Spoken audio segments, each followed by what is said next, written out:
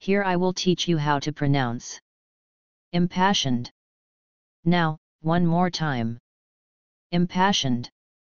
Congratulations, I have many more videos.